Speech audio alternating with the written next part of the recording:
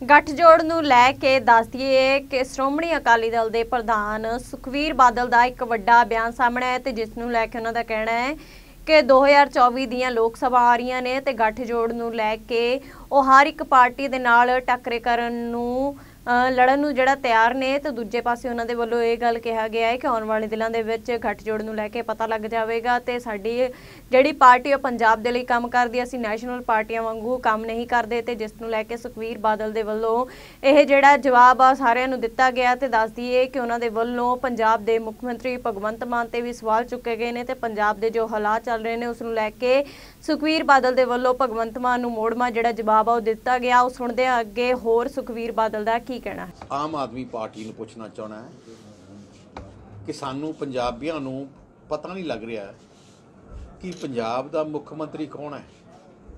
ਕੇਜਰੀਵਾਲ ਹੈ ਜਾਂ ਭਗਵੰਤ ਮਾਨ ਹੈ? ਕਿਉਂਕਿ ਜਿੱਥੇ ਜਾਈਏ, ਮੇਰੇ ਕੋਲੇ ਇੰਡਸਟਰੀਅਲਿਸਟ ਮਿਲੇ, ਮੇਰੇ ਕੋਲੇ ਵਪਾਰੀ ਮਿਲੇ, ਮੇਰੇ ਕੋਲੇ ਕਈ ਹੋਰ ਵਰਗ ਦੇ ਲੋਕ ਮਿਲੇ, ਜਿਹੜੇ ਵੀ ਮੰਤਰੀ ਕੋਲੇ ਜਾਂਦੇ ਆ ਮੰਤਰੀ ਕਹਿੰਦੇ ਜੀ ਕਿ ਤੁਸੀਂ ਕੇਜਰੀਵਾਲ ਨੂੰ ਮਿਲ ਲਓ, ਉਹ ਜੋ ਕਹੂਗਾ ਸਾਨੂੰ ਕਰ ਲਓ। ਹੁਣ ਤੁਸੀਂ ਦੇਖ ਲਓ, ਇੰਡਸਟਰੀ ਦੀ ਮੀਟ ਪੰਜਾਬ ਦੀ ਹੈ। ਮਿਲਣੀ ਕਹਿੰਦੇ ਇੰਡਸਟਰੀ ਮਿਲਣੀ। ਤੇ ਕੇਜਰੀਵਾਲ ਦਾ ਕੀ ਕੰਮ ਹੈ? ਦੂਜੇ ਸੂਬੇ ਦਾ ਮੁੱਖ ਮੰਤਰੀ ਆ ਕੇ ਗਰੰਟੀ ਦੇਊਗਾ? ਆਪਣਾ ਮੁੱਖ ਮੰਤਰੀ ਨਹੀਂ ਕਹਿ ਸਕਦਾ ਕਿ ਮੈਂ ਤੁਹਾਨੂੰ ਆ ਦਊਂਗਾ। ਕਿ ਉਹਦੇ ਜ਼ਬਾਨ ਖਤਮ ਹੋ ਗਈ? ਜੇ ਕੋਈ ਸਮਟ ਹੁੰਦਾ ਕੇਜਰੀਵਾਲ, ਜੋ ਕੁਝ ਹੁੰਦਾ ਕੇਜਰੀਵਾਲ ਸਕੂਲ ਆਫ ਐਮੀਨੈਂਸ ਬਣਾਉਣਾ ਕਹਿੰਦੇ ਆ ਤੇ ਲਿਆਓ ਜੀ ਕੇਜਰੀਵਾਲ ਨੂੰ। ਸੋ ਇਸ ਕਰਕੇ ਮੁੱਖ ਮੰਤਰੀ ਕੌਣ ਹੈ? ਕਿਹਨੂੰ ਅਸੀਂ ਜ਼ਿੰਮੇਵਾਰ ਸਮਝੀਏ? ਐ ਜੀ ਨਕੰਮੀ ਨਲਾਇਕ ਸਰਕਾਰ ਅੱਜ ਤੱਕ ਨਹੀਂ, ਪੰਜਾਬ ਨਹੀਂ, ਦੇਸ਼ 'ਚ ਨਹੀਂ ਦੇਖੀ।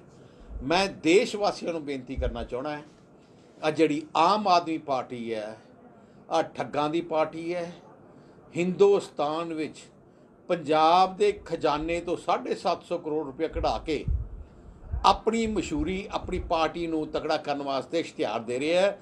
ਹਿੰਦੁਸਤਾਨ ਦੇ ਕੋਨੇ-ਕੋਨੇ 'ਚ ਆ ਇਸ਼ਤਿਹਾਰ ਸਾਰੇ ਜਾਲੀ ਹੈ, ਫਰਾਡ ਹੈ। ਜੇ ਤੁਸੀਂ ਇਹਨਾਂ ਦੀ ਕਰਤੂਤਾਂ ਦੇਖਣੀਆਂ, ਮੈਂ ਕਹਿਣਾ ਚਾਹਣਾ ਸਾਰੇ ਪੋਲੀਟੀਕਲ ਪਾਰਟੀਆਂ ਨੂੰ ਤੇ ਉਹਨਾਂ ਦੇ ਵਰਕਰਾਂ ਨੂੰ ਤੇ ਲੀਡਰਾਂ ਨੂੰ, ਆ ਕੇ ਪੰਜਾਬ ਦੇਖੋ, ਕਿਹ ਜਾ ਮਾੜਾ ਹਾਲ ਆਮ ਆਦਮੀ ਪਾਰਟੀ ਸਰਕਾਰ ਨੇ ਕਰ ਦਿੱਤਾ।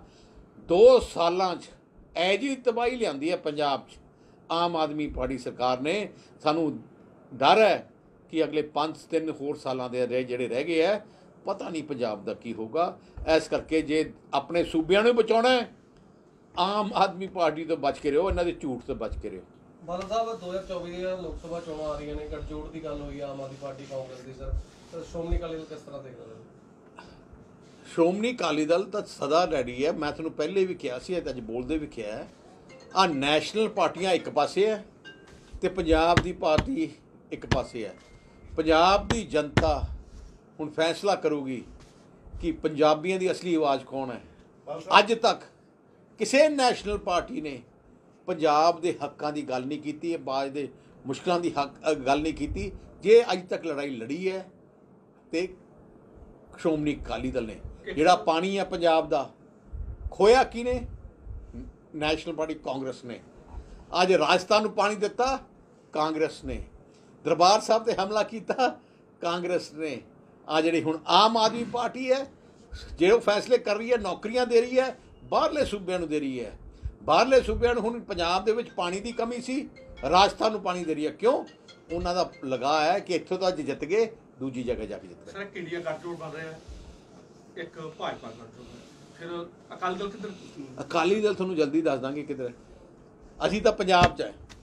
ਜੋ ਮਰਜ਼ੀ ਗੱਠਜੋੜ ਬਣਾ ਕੇ ਆਜੋ ਅਸੀਂ ਟੱਕਰਾ ਕਰਨ ਨੂੰ ਤਿਆਰ ਹੈ। you. ਨਸ਼ਾ Thank you.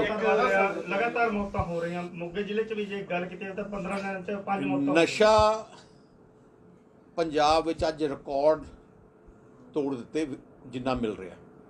ਮੈਂ ਅੱਜ ਦਾਅਵੇ ਨਾਲ ਕਹਿ ਰਿਹਾ ਨਸ਼ਾ ਵਿਕਾਉਣ ਵਾਸਤੇ ਅੱਜ ਘਰ ਘਰ ਪਹੁੰਚਾਉਣ ਵਾਸਤੇ ਸਭ ਤੋਂ ਵੱਡੇ ਗੁਨਾਹਗਾਰ ਆਮ ਆਦਮੀ ਪਾਰਟੀ ਦੇ ਐਮਐਲਏ ਹੈ। ਇੱਕ ਖੇਤੀ ਆ ਐਮਐਲਏ ਮਹੀਨਾ ਬੰਨੀ ਬੈਠੇ ਐ ਨਸ਼ਾ ਵੇਚਣ ਵਾਲੇ ਤੋਂ।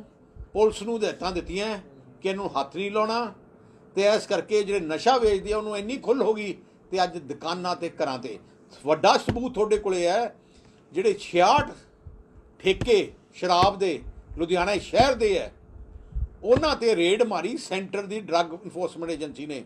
66 ਤੇ 66 ਸ਼ਰਾਬ 'ਤੇ ਸਰਕਾਰੀ ਠੇਕਿਆਂ ਦੇ ਉੱਤੇ ਚਿੱਟਾ ਵਿਕ ਰਿਹਾ ਸੀ। ਐਂਡ ਉਹਨੂੰ ਕੁਝ ਨਹੀਂ ਰੋਕਿਆ ਜਾ ਰਿਹਾ ਸੀ। ਤੇ ਉਦੋਂ ਜੋ ਸੈਂਟਰ ਦੀ ਏਜੰਸੀ ਨੇ ਜਦੋਂ ਬੰਦ ਕੀਤਾ, ਮਹੀਨੇ ਬਾਅਦ ਫਿਰ ਤੋਂ ਖੋਲ ਦਿੱਤੇ। ਬਾਲ ਸਾਹਿਬ, ਇਸੇ ਨਾਲ ਜੁੜਿਆ ਸਵਾਲ ਹੈਗਾ, ਜਿਵੇਂ ਤੁਸੀਂ ਨਸ਼ੇ ਦੀ ਗੱਲ ਕਰ ਰਹੇ ਹੈਗੇ, ਵੀ ਨਸ਼ਿਆਂ ਨੂੰ ਲੈ ਕੇ ਪਿੰਡਾਂ ਦੇ ਵਿੱਚ ਲੋਕਾਂ ਨੇ ਕਮੇਟੀਆਂ ਬਣਾ ਦੀਆਂ ਨਾਕੇ ਲਾਉਣੇ ਸ਼ੁਰੂ ਕਰਤੇ। ਪੁਲਿਸ ਇਸ ਚੀਜ਼ ਨੂੰ ਡਿਨਾਈ ਕਰ ਰਹੀ ਹੈ ਵੀ ਇਹ ਗੈਰ ਕਾਨੂੰਨੀ ਹੈਗਾ। ਤੇ ਪੁਲਿਸ ਦੇ ਕੁਝ ਕਰਮਚਾਰੀ ਦੇ ਅਧਿਕਾਰੀਆਂ ਦੇ ਕਿਸੇ ਸੀਨੀਅਰ ਅਫਸਰ ਨੇ ਨਾਂ ਵੀ ਨਸ਼ਰ ਕਰਦੇ ਵੀ ਇਹ ਲੋਕ ਵਿੱਚ ਨਾਲ ਮਿਲੇ ਹੋਏ ਇਸ ਕਰਕੇ ਨਸ਼ਾ ਜਿਹੜਾ ਸਾਡੇ ਪੰਜਾਬ 'ਚ ਬੰਦ ਨਹੀਂ ਹੋ ਰਿਹਾ। ਤੁਸੀਂ ਕਿਵੇਂ ਦੇਖਦੇ ਮੈਂ ਉਹ ਵੀ ਕਹਿ ਰਿਹਾ ਪਿੰਡਾਂ ਦੀਆਂ ਕਮੇਟੀ ਕਦੋਂ ਬਣਨ ਲੱਗ ਜਾਂਦੀਆਂ ਜਦੋਂ ਉਹਨਾਂ ਨੂੰ ਵਿਸ਼ਵਾਸ ਉੱਡ ਜਾਂਦਾ ਪੁਲਿਸ ਤੇ। ਹੁਣ ਪੁਲਿਸ ਵਾਲੇ ਜਾਣ ਕੇ ਇਹਨਾਂ ਨੂੰ ਗੈਰ ਕਾਨੂੰਨ ਕਹਿ ਰਹੇ ਕਿਉਂਕਿ ਹਲਕੇ ਦੇ ਐਮਐਲਏ ਨੇ ਪੁਲਿਸ ਨੂੰ ਕਿਹਾ ਕਿ ਨਸ਼ੇ ਵਾਲਿਆਂ ਨੂੰ ਤੁਸੀਂ ਪ੍ਰੋਟੈਕਸ਼ਨ ਦੇਣੀ ਹੈ। ਨਸ਼ੇ ਵੇਚਣ ਵਾਲੀ ਦੀ ਇੰਨੀ ਹਿੰਮਤ ਹੈ ਕਿ ਕਮੇਟੀਆਂ ਤੇ ਵੀ ਹਮਲਾ ਕਰਨ ਲੱਗ ਗਏ। ਜੇ ਕੋਈ ਪੁਲਿਸ, ਜੇ ਕੋਈ ਉੱਥੇ ਕੋਈ ਰੇਡ ਮਾਰਦਾ, ਉਹਨਾਂ ਤੇ ਹਮਲਾ ਕਰਦੇ ਆ। ਅੱਜ ਤੱਕ ਕਿਤੇ ਹੋਇਆ?